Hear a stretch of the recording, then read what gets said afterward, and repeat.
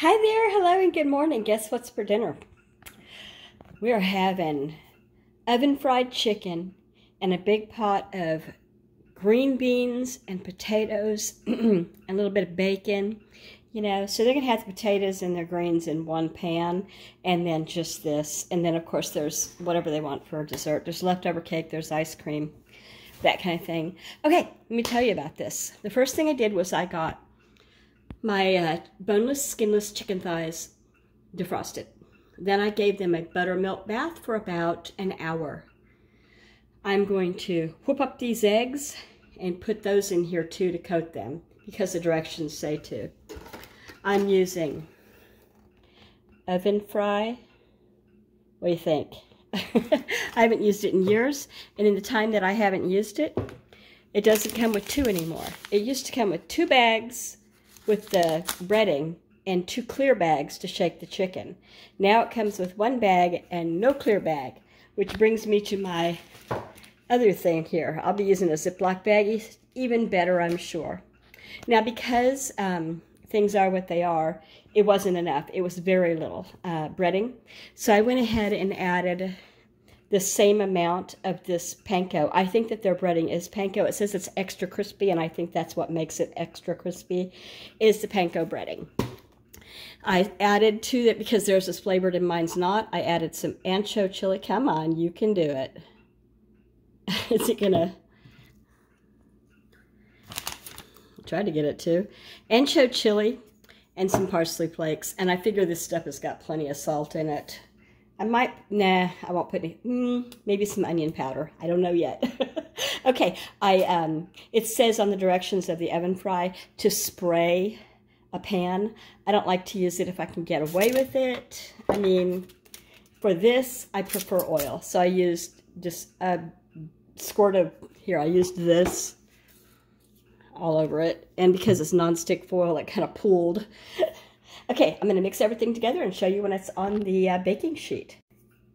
Just poured in the two beaten eggs and I'll go ahead and mix that all together. All right, I mixed the mix that came with the oven fry and then some of my own panko from the pantry. It looks pretty good. I don't think they'll know unless I tell them. All right, it's we've got here two, four, six, eight, nine big pieces. So, well, they're thin and they're boneless and skinless, so you know. They would have been a lot bigger if they'd had their bones and skin.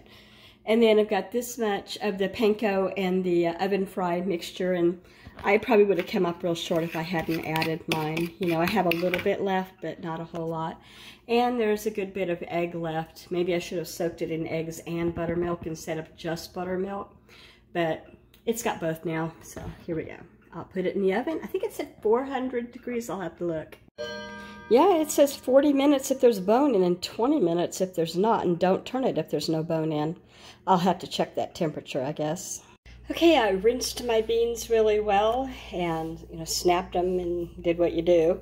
And now I'm going to put them in a steam basket real quick, like a double boiler, so that I can just get them a head start and they're nice and tender and no big tough bites.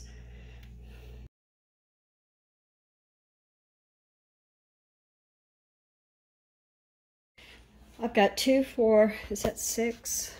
Two, four, five slices of bacon left over from BLTs. I'm to chop it, throw it in the bottom of this pan. When those get done steaming some, I'm to add the potatoes and a little bit of beef broth and probably some onion. We'll see. They're in there, the bacon, and I'm just to put it on real low. That's my plan anyway.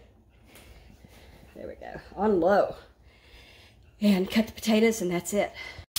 I had to cut off some parts, but they're okay. They're still, you know, firm, real firm, and just had some eyes that needed to come out.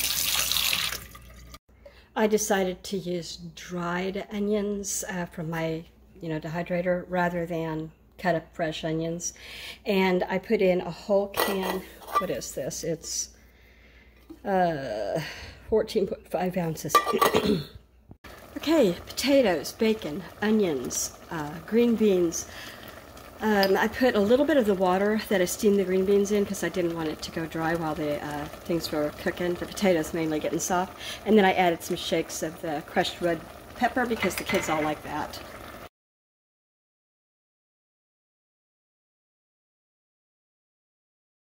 Ooh, that's hot. I'm going to let it go just a little bit longer. I don't feel safe. 20 minutes isn't enough. And it's done. I uh, think it looks beautiful and I can't wait to get into it. And I hope that you all have a good dinner as well.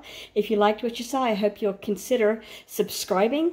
Always make a comment and press that like button if you feel led. Bye. Have a good day.